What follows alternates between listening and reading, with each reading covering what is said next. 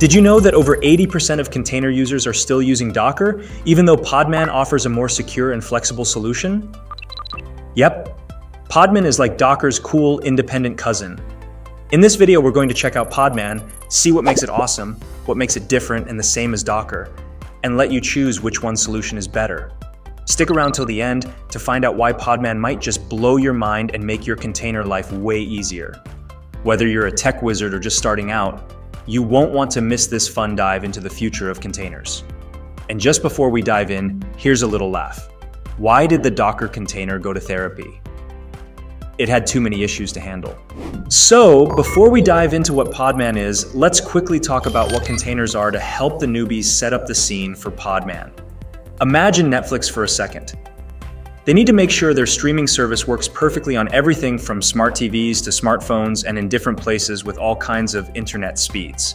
Containerization lets them pack their app and everything it needs into little portable boxes, so it works smoothly no matter what device or where you are. As Steve Jobs once said, design is not just what it looks like and feels like. Design is how it works. Containers totally get this. They make sure your app works great everywhere, just like it does on your own computer. It's like having a magic box that ensures your app performs perfectly no matter where you run it. Pretty cool, right? Or should I say, container cool. So now that we've set the stage with what containers are and why they're so important, let's dive into how Podman changes the game. Podman is like a superhero among container engines. It's an open source project that helps us develop, manage, and deploy containers. It's super powerful, and what makes it stand out are its two unique features. Firstly, Podman has a daemonless approach, or should I say, daemonless? Ha ha ha ha. Get it. That's a good one, you must admit.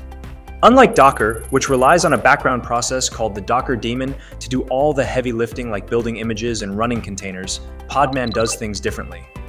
Docker's daemon is like a mysterious ninja working behind the scenes, handling everything with a touch of magic, but also lurking as a system process and running as root.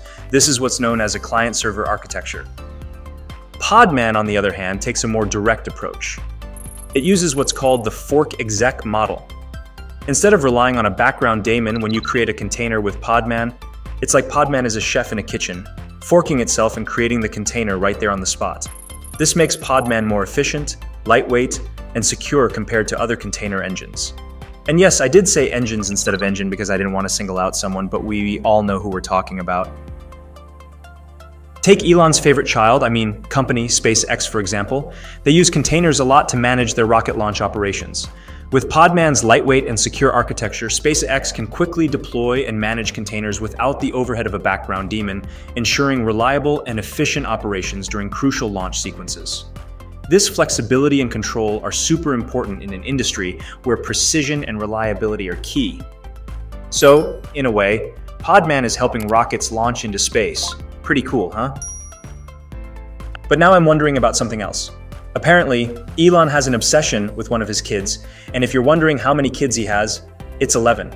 Yes, 11, that's just crazy, but that's a whole different story. Back to his obsession, it is with his son, X. Yes, that's a cool but weird name at the same time. And what clicked in my mind is that his favorite company is called SpaceX. Makes you wonder, right?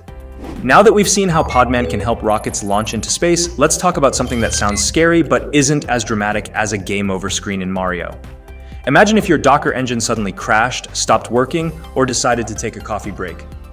You'd lose access to all your containers, images, and everything else connected to Docker.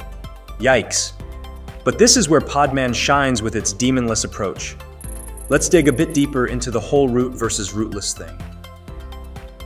Think of your computer as a theme park, and your application is the super awesome roller coaster everyone wants to ride. If you're running the application as root, it's like leaving the control room unlocked. Sure, it's easy to get in and out, but it also means anyone could sneak in and mess with the controls. Some mischievous hacker with too much free time could cause all sorts of chaos. Now that would be scary. Now imagine the same theme park, but this time the control room is locked and only you have the key. That's the rootless approach with Podman. Even if there's a vulnerability in your application, the damage is limited because it's running as a regular user, not as root. It's like having a security guard by the control room who only lets in trusted staff. So how can Podman be rootless when Docker isn't? Or one can even say Podman is being ruthless. Ha ha ha, that's definitely a good one, you gotta give me that. The secret is in how they're built. Docker uses a client-server model where the Docker daemon runs as a root process. This daemon handles all container-related tasks, which means it needs root privileges. Podman, on the other hand, uses a fork exec model where each container process is a child of the Podman process. This allows Podman to run containers as a regular user without needing root privileges. This rootless approach is a big win for our security friends. This extra layer of security is what makes Podman special. With Docker, the engine runs in the background as root, handling everything like a trusty butler. Podman, however, takes a more democratic approach, letting you run containers by default as a user, not as root, and without needing a background daemon. It's like having your cake and eating it too, without worrying about someone sneaking in with a fork. And speaking of forks, here's a funny fact. Did you know Elon Musk named one of his kids XAEA12? Imagine calling that name out at a theme park. XAE A12, it's your turn to ride the roller coaster. Now that we've had a laugh about Elon's uniquely named kid and learned about Podman being ruthless, I mean rootless, let's dive back into the next important part architecture. You'll notice some similarities when we talk about the architecture of Docker and Podman. It's like they both attended the same How to Be a Great Container Engine 101 class. This is because they're both based on something called the OCI, which stands for the Open Container Initiative.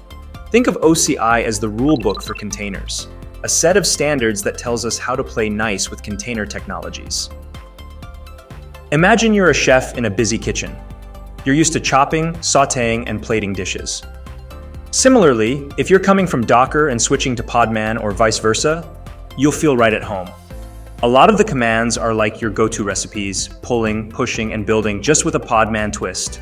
Next, let's look at some of these Podman commands you'll use every day. Imagine you're craving some Redis, that super fast database, so you decide to pull it down from your favorite Docker Hub or K8SIO registry. It's like ordering your go-to specialty coffee, but for containers. Just type podman pull redis, and presto, it's downloaded and ready to go. Now that you've got Redis buzzing in your local registry, it's time to run it.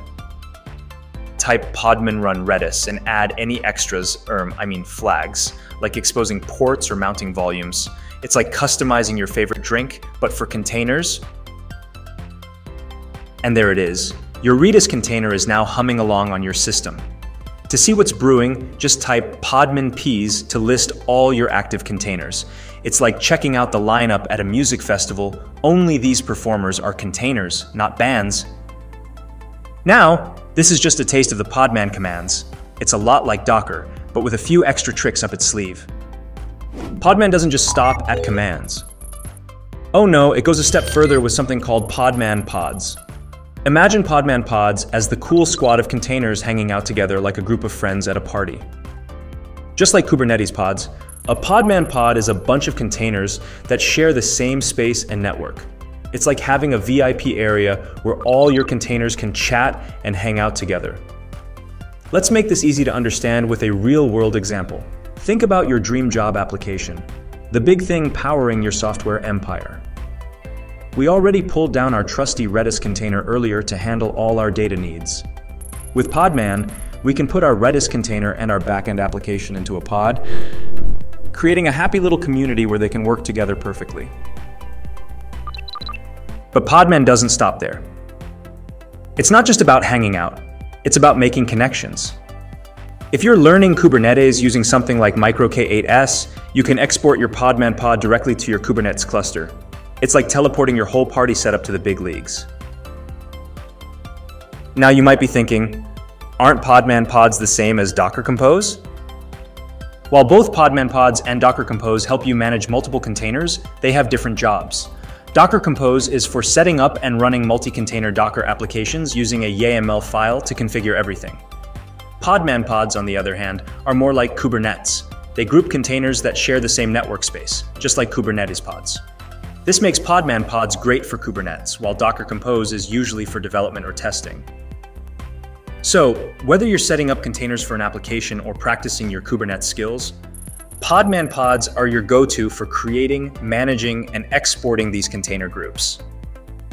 It's like having a VIP pass to the backstage of the container world. And speaking of VIP passes, did you know Elon Musk's companies are like containers themselves? He's got SpaceX, Tesla, Neuralink, and more. Just imagine if he managed them with Podman. Talk about efficiency. In summary, Podman offers a secure, efficient, and powerful way to manage your containerized applications, standing out with its daemonless and rootless approach, and Podman pods for easy container orchestration. Whether you're transitioning from Docker or diving into Kubernetes, Podman has you covered. And remember, if Elon can manage rockets, electric cars, and 11 kids, you can definitely figure out choosing the right tool for managing your containers.